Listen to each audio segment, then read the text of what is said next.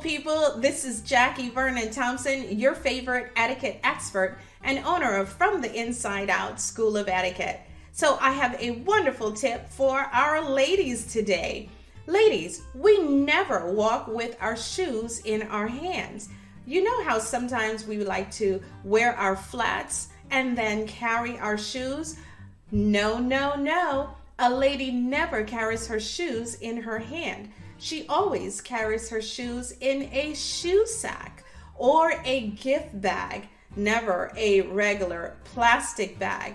Remember, just because you're a female doesn't automatically make you a lady. A lady demonstrates ladylike behavior. So, head out to the store, go online, purchase a, shoe sack for your shoes. That's our tip today. Remember, subscribe to our YouTube channel follow us on Facebook, and visit us at www.fromtheinsideoutsoe.com. See you next time.